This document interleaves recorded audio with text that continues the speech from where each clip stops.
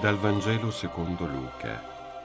In quel tempo, mentre alcuni parlavano del Tempio e delle belle pietre e dei doni votivi che lo adornavano, Gesù disse, Verranno giorni in cui di tutto quello che ammirate non resterà pietra su pietra che non venga distrutta. Gli domandarono, Maestro, quando accadrà questo e quale sarà il segno che ciò sta per compiersi? Rispose, guardate di non lasciarvi ingannare. Molti verranno sotto il mio nome dicendo, sono io. E il tempo è prossimo, non seguiteli. Quando sentirete parlare di guerre e di rivoluzioni, non vi terrorizzate. Devono infatti accadere prima queste cose, ma non sarà subito la fine. Poi disse loro, si solleverà popolo contro popolo e regno contro regno, e vi saranno di luogo in luogo terremoti, carestie e pestilenze. Vi saranno anche fatti terrificanti e segni grandi dal cielo. Ma prima di tutto questo metteranno le mani su di voi e vi perseguiteranno, consegnandovi alle sinagoghe e alle prigioni, trascinandovi davanti al re e al governatore a causa del mio nome. Questo vi darà occasione di rendere testimonianza. Mettetevi bene in mente di non preparare prima la vostra difesa. Io vi darò lingua e sapienza a cui tutti i vostri avversari non potranno resistere né controbattere. Sarete traditi perfino dai genitori, dai fratelli, dai parenti e dagli amici e metteranno a morte alcuni di voi. Sarete odiati da tutti per causa del mio nome ma nemmeno un capello del vostro capo perirà. Con la vostra perseveranza salverete le vostre anime. Benvenuti a tutti. Stiamo per concludere l'anno liturgico, l'anno liturgico C.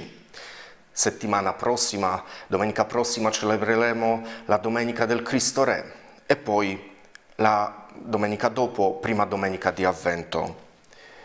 In questo momento, conclusione del, del conclusione dell'anno liturgico, eh, la Chiesa ci invita a meditare il brano del Vangelo secondo Luca, dal ventunesimo capitolo, dove San Luca ripropone la visione biblica della storia e riferisce le parole di Gesù con l'invito a non avere paura, ma ad affrontare difficoltà, incomprensioni, persecuzioni con fiducia, perseverando nella fede con Lui.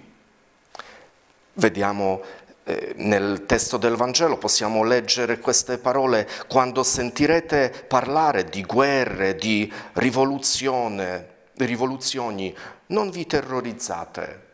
Anche noi sentiamo parlare delle guerre, rivoluzioni, terremoti, i posti, i luoghi eh, del conflitto. Non vi terrorizzate. Con fiducia il Vangelo ci invita di affrontare questi momenti con fiducia, perseverando nella fede nel Signore. Come si deve comportare la Chiesa e tu, tutte le persone che appartengono alla Chiesa? La Chiesa vive nell'attesa del suo Signore, leggendo i segni dei tempi, perché la Chiesa è consapevole che la storia deve fare il suo corso, che comporta anche calamità naturali. Ma siamo anche consapevoli che in questi momenti in questa storia, in essa, si sviluppa un disegno, un progetto di Dio, un disegno di salvezza che è già compiuto, già dato compimento il Cristo con la sua incarnazione, morte e risurrezione.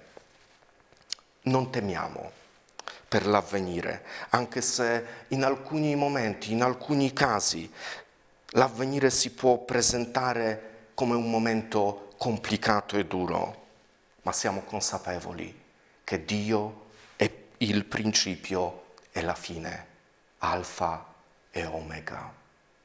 Buona domenica a tutti voi.